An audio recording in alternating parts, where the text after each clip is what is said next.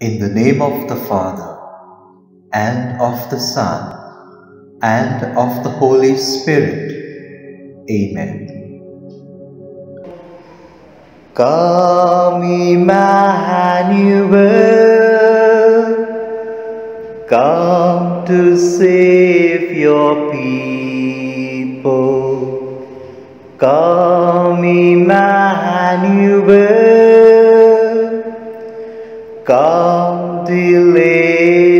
more.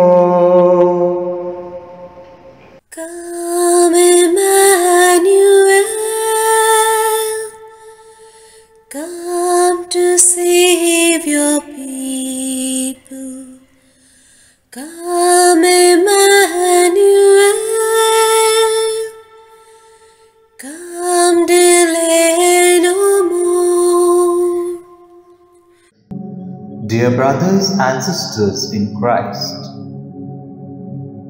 let us feel the precious presence of our Lord Jesus in our midst, in our home, and with our family as we prepare ourselves for the birth of our Lord Jesus.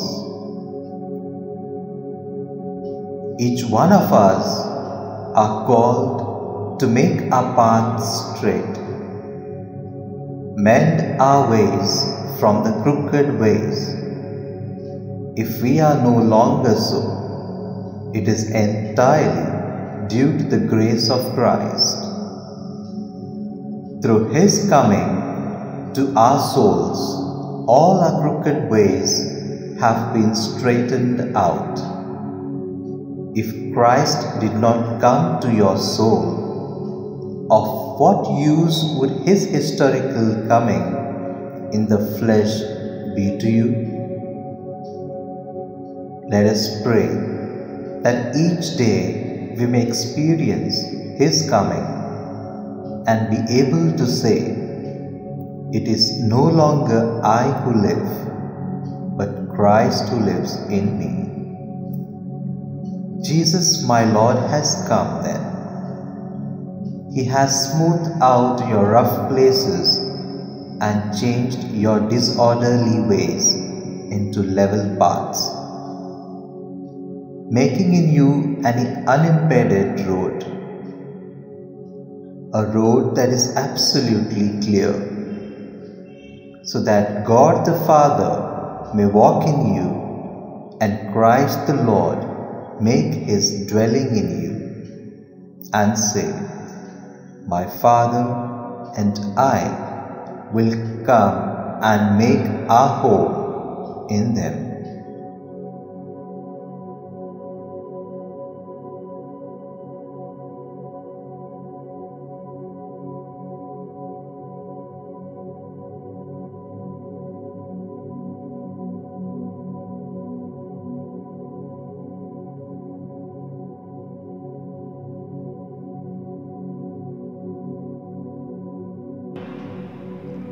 Opening Prayer Loving Father, may nothing be an obstacle for us from receiving Christ with joy, for He is our true and living way.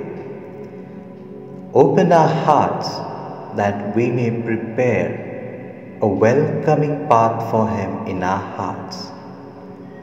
May we allow ourselves to be led by Him on the ways of eternal life. For he is the good shepherd who feeds his flock and tenderly gathers the lamb and carries them in his bosom. You live and reign forever and ever. Amen. Jesus, Master, is the truth. Let us now listen to the Word of God taken from the Holy Gospel of Saint Mark.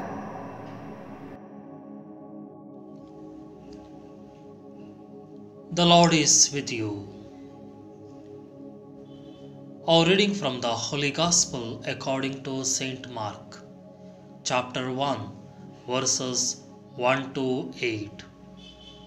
The beginning of the gospel of Jesus Christ, the Son of God. As it is written in the prophets, Behold, I send my messenger before you, who shall prepare your way before you. The voice of one crying in the wilderness, Prepare the way of the Lord, make his paths straight.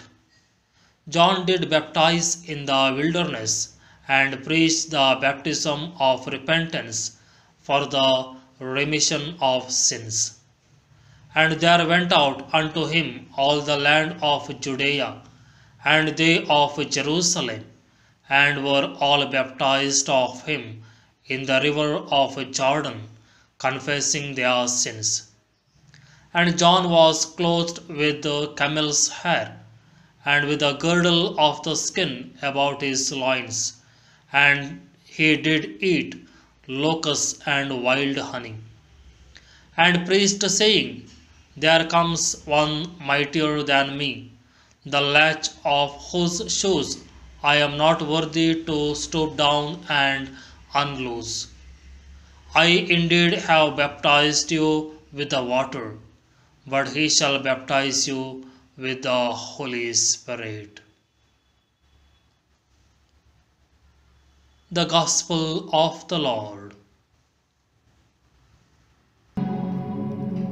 John the Baptist is a very important figure that accompanies the church's preparation for the coming of Christ. As we continue on our spiritual journey in the Advent season, the prophetic exhortation of the one who cries out in the wilderness resounds anew in the depths of our heart. Prepare the way of the Lord. Indeed, prepare the way of the Lord is the living Word of God addressed to us today through the precursor John's prophetic cry. What does it mean for us?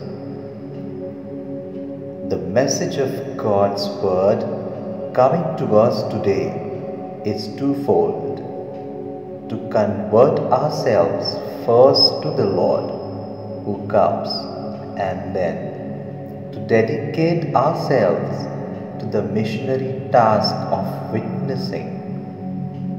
In the first place, the committed task of preparing the Lord's way within us in our hearts, in our lives. Before thinking of converting others, we should first be converted to the Lord.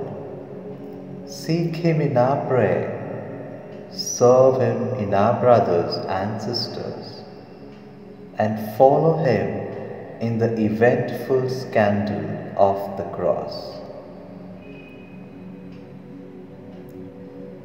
The Advent programmatic cry, Prepare the way of the Lord, is therefore a call to a personal conversion as well as a vocation to proclaim the message of consolation.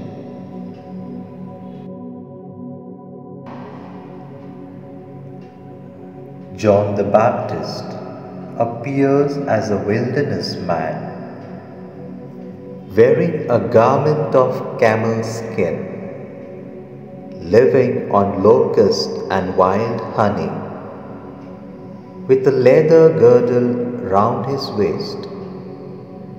He draws attention not to himself but to Jesus. He is the messenger, Jesus, the message. He is the voice, Jesus, the Word. He is the servant, Jesus, the Master. He is the bridegroom's friend, Jesus, the bridegroom. Why did John the Baptist choose the wilderness to proclaim and preach Christ. Why did he not instead go to the city and town squares? The wilderness was a key word for the people of Israel, bringing back precious memories. In the wilderness, they were tried and tested. There they grumbled and complained against God. There were they saved. There they became a nation. There was their relationship to God restored. There they learned to depend on God. Their God would lead them to speak to their hearts. They discovered the route to the promised land. Bombarded by a deafening disciple culture, battered by commercialism, bruised by the relentless onslaught of a consumerist society, dazed and dazzled as we are by tinsel, trash, and trinkets. We need the wilderness of silence and solitude to make that most intimate and intricate journey. The wilderness of our heart. The heart of our Advent preparation is the preparation of our heart. Come, O David's son, come to save your people. Come, O David's son, come delay no more.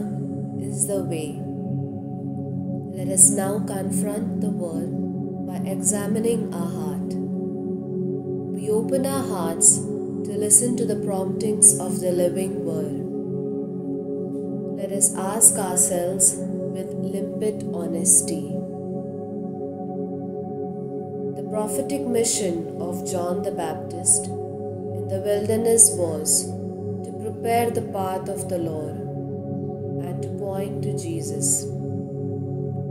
The prophet Isaiah speaks of a heavenly voice that cries out, In the desert, prepare the way of the Lord.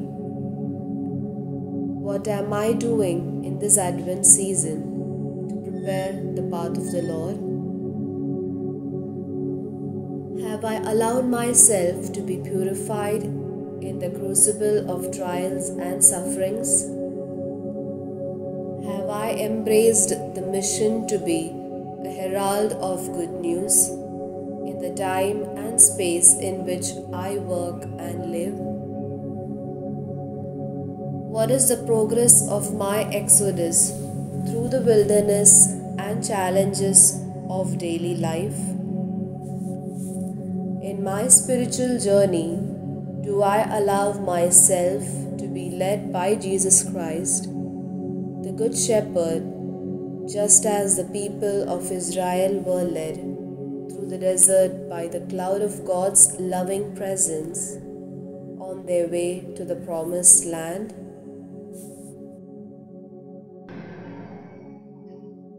Prayer Heavenly Father, I believe in your wisdom and love.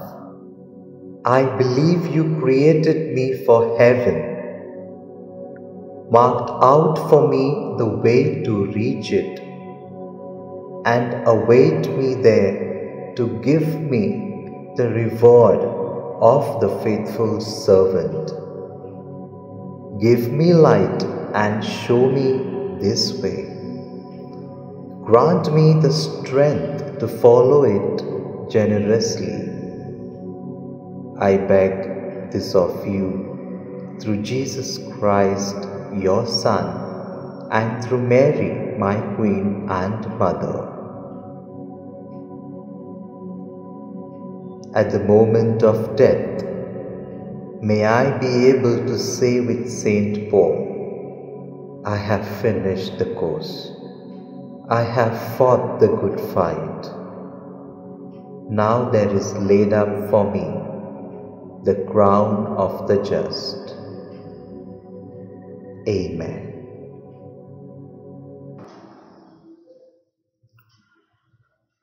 Comfort, comfort my people, says the Lord your God. Cry loud to Jerusalem, God has pardoned you. Every valley shall be filled, every mountain hill made low. Comfort, comfort my people, says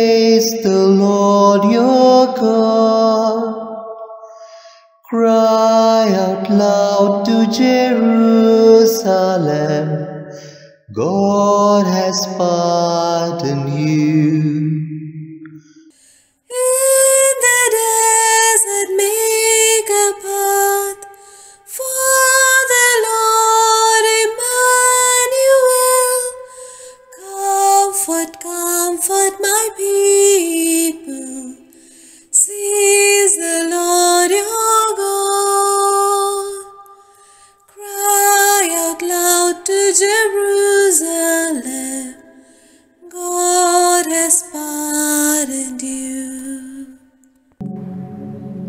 Jesus is the life. Let us now, acting upon the word, contemplate with Mary the face of Christ. Let us now bring to mind the mysteries of light of the Rosary. The baptism in the Jordan is first of all a mystery of light. Here, as Christ descends into the waters, the innocent one who became sin for our sake, the heavens open wide, and the voice of the Father declares him the beloved Son, while the Spirit descends on him to invest him with the mission which he is to carry out.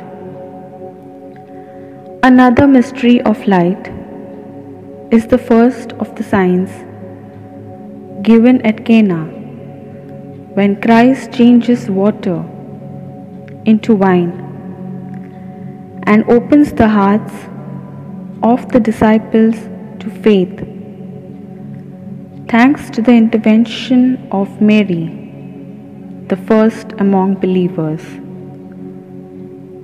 The preaching by which Jesus proclaims the coming of the kingdom of God calls to conversion and forgives the sins of all who draw near to Him. In humble trust, the inauguration of that ministry of mercy which he continues to exercise until the end of the world, particularly to the sacrament of reconciliation which he has entrusted to his church. The mystery of light par excellence is the transfiguration traditionally believed to have taken place on Mount Tabor, the glory of the Godhead shines forth from the face of Christ. As the Father commands the astonished apostles to listen to him and to prepare to experience with him the agony of the Passion, so as to come with him to the joy of the resurrection and a life transfigured by the Holy Spirit. A final mystery of light is the institution of the Eucharist, in which Christ offers his body and blood as food under the signs of bread and wine, and testifies to the end his love for humanity, for whose salvation he will offer himself in sacrifice. Prayer of intercession is the way of solidarity. God, the Almighty Father, stretches forth his hand again to take possession of the remnant of his people. Let us make a prayer to him. Our response shall be, Lord, hear our prayers. For the Pope's intention for this month of December, for a life of prayer, that a personal relationship with Jesus Christ be nourished by the Word of God and a life of prayer. We pray to the Lord, Lord, hear our prayers. Lord, grant that our works of penance may please you, and that we may be ready for your kingdom which is near. We pray to the Lord, Lord, hear our prayers. Prepare a path in our hearts for the coming of your word, and let his glory be revealed among us. We pray to the Lord, Lord, hear our prayers.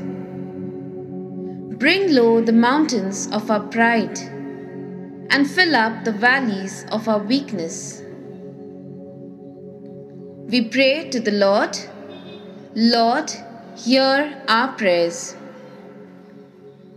Break down the wall of hatred that divides the nations and make level for all mankind the paths to peace.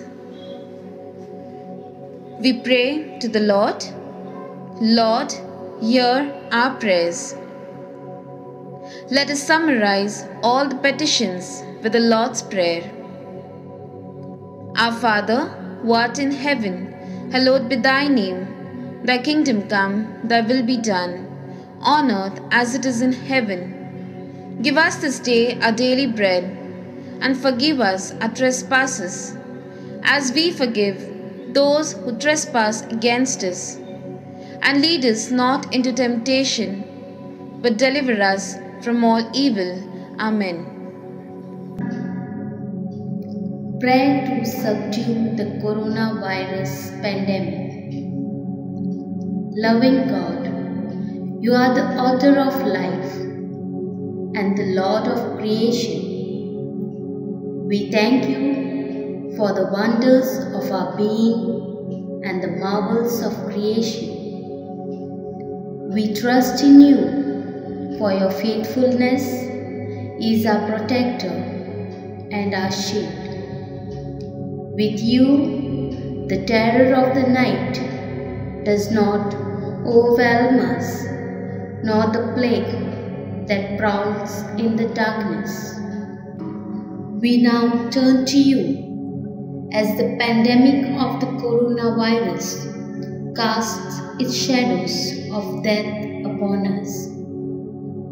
Deliver us from this calamity and free us from this pestilence.